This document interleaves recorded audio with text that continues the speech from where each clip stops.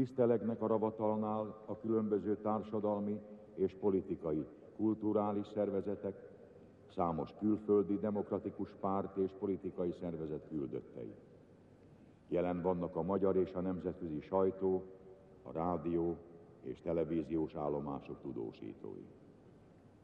Ma fél egy órakor kezdődik a gyászszertartás, amit harangzúgás ad hírül a fővárosnak és az egész világnak. Ekkor álljon meg egy percre országszerte minden városban és faluban minden közlekedés, szólaljanak meg az autódudák, a gyárak kürtjei, és kiki ott, ahol van, némán emlékezzen a mártírokra.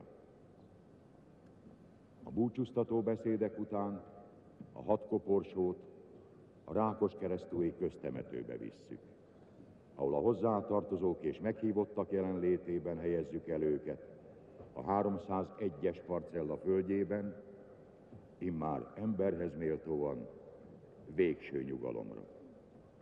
A temetés során elhangzik az 56-os kivégzettek névsora, és egy-egy égő fákja eloltása jelképezi a többnyire fiatal, kioltott életeket.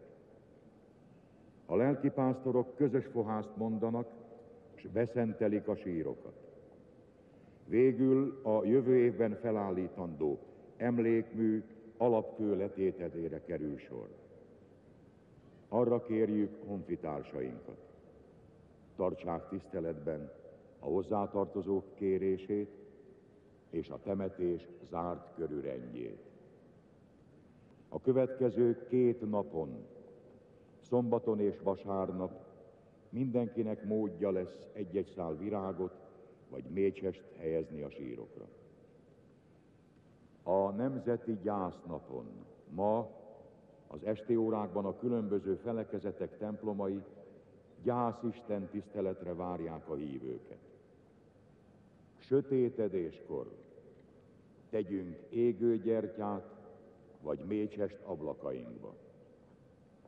Felhívjuk az egész ország lakosságát, tartsunk nemzeti gyászt a mai napon.